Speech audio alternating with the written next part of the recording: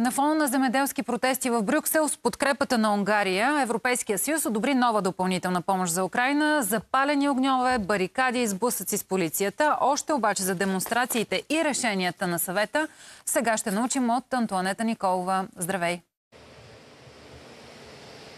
Здравей! 1300 бяха тракторите, които буквално блокираха европейския квартал, като протестиращите фермери бяха не само от Белгия, имаше такива от Испания, Франция и Италия. Основното им искане е прекалена регулация, свързана с зелената сделка. Всяка една държава има своите отделни характеристики. Примерно за Франция проблема са пестицидите, за фламандската част на Белгия става въпрос за нитратите, Валонската част има проблем с сроковете, които по регулация им се дават за засяването. Въобще протестът е доста разнороден с една обединена точка. Тук беше вчера буквално като бойно поле, хвърляше се тор, палеше се слама, беше повален един паметник. А, какво направиха лидерите? Обещаха среща на земеделските министри на 26 феврари, като до тогава им възложиха задача да видят как може да се облегчи бюрокрацията. А, имам удоволствието наш гост да коментира а, какво се случва в Брюксел. Това е редактора от а, брюкселското издание в който освен това е из българската версия на Юрактив, който коментира и за белгийските медии ситуацията. Може би да го питаме а, дали смята, че той протест ще се а, прехвърли в а, България и всъщност защо точно се получи точно сега? Имаме европейски избори, това ли е причината или нещо друго? Белгийските замеделци и българските замеделци, това са различни бири. тук видяхме, нали, както ти каза, 1300 трактора. Това е нещо невероятно. Това е цяла армия. Аз, аз не съм виждал толкова много машини. И те са огромни. Те са като булдозери.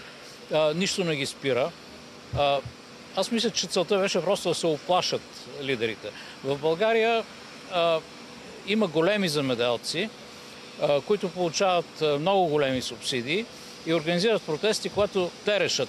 Тук земеделците са дребни земеделци, на тях им е писнало, те виждат как доходите им падат и благодарение на социални медии и така нататък се организират много лесно и могат да блокират една столица като Брюксел или като Париж много лесно. Така че разликите наистина са, са много големи и Основното е, както ти каза, че те се противопоставят на прекалената регулация от Брюксел. Те се оплакват, че половината от времето си, вместо в тракторите си, те трябва да прекарат пред компютрите, да попълват Excel нали, листове и да се занимават с неща, които те смятат, че са неприсъщи за, за тяхната работа. Разбира се, те се оплакват от това, че трябва да изпълняват най-различни изисквания, докато вносни селско-стопански продукти са... Един Господ знае какви изисквания изобщо, ако има такива, как са били произведени. И това така, според мен е тежко изпитание преди европейските избори за Урсула фон дер Лайен, защото тя се готви да стане кандидат нали, от името на най-голямата политическа партия, Европейска народна партия, но всъщност в очите на много хора тя отъждествява едно много лошо статукво. Вчера а, българския премьер Николай Денков коментира също а, а, ситуацията с фермери, като, като той каза, че има една голяма степен и доза на програмирана дезинформационна пропаганда, която подхранва тези движения. Смяташ ли, че това е причината или просто някой се възползва само? Не е трудно да се манипулират протестиращи. Не е трудно, виждали сме го много пъти буквално хулигани а, и, и бандити, разбойници а, да влизат в техните редици и да правят а, ужасяващи неща. Тук на няколко метра от нас се намира един паметник.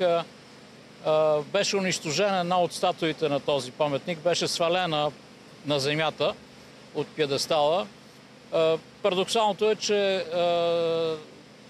този, е, тази монументална фигура представлява един работник, който държи две е, запчати колела. Тоест работниците свалиха работника. Е, аз мисля, че по-скоро е дело на, на хулигани. Но във всеки случай всичко е възможно с такива протести. Белгийските правоохранителни служби имат огромен опит. Аз съм виждал тук години наред много големи протести. Но нещата стават все по-сложни по две причини. Първото е нали, това, че социалните медии много помагат на всякакви хора да се организират, не само на протестиращите, но и на хулиганите. И другото нещо, разбира се, е, че расте недоволството. Расте недоволството, защото живота не е лек. Може ли да кажем, че на фона на тези протести и при наближаващи избори, които може би ще са едни е, най-важните и критични избори за последните години, че европейските лидери и правителства ще трябва да направят концесии отстъпки от амбициозните програми по отношение на зелените политики? Ами, хайде да видим. Аз ще запомня от тази среща на върха това, че а, а, и- италианският премьер Джорджа Мелони, която, когато пое поста през октомври 2022 година, всички бяха настръхнали как така лидер на кра- крайно дясна партия ще бъде начало. Всъщност тя помогна за постигането на компромиса, защото тя много засили натиска върху, върху Виктор Орбан. Може би бъдещия мейнстрим няма да бъде от типа Меркел, нали, командва лидери от централно, как да кажа, от европейския мейнстрим, а ще бъде Мелони, която ще, ще въдворява дисциплина между лидери от правителства, където участва крайната десница. Благодаря ви. Това беше от нас. Продължаваме да следим ситуацията. Благодарим ти, Тони, за това включване. Антуаната Николова от Брюксел за последните решения на Европейския съвет от вчера и протестите на земеделците. Сега, уважаеми зрители, се връщаме отново в